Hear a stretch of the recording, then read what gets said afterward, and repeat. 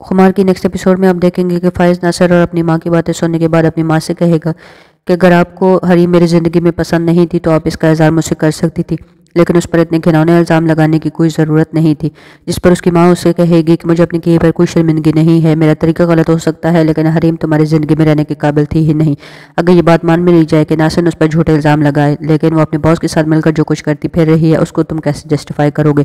इस पर फायज अपनी माँ से कहेगा कि, मजीद इसके बारे में कोई बात मत कीजिएगा, वरना एक बेटा आपको आपके लालच की वजह से छोड़ के जा चुका है और दूसरा बेटा आपकी नफरत की वजह से आपको छोड़कर चला जाएगा।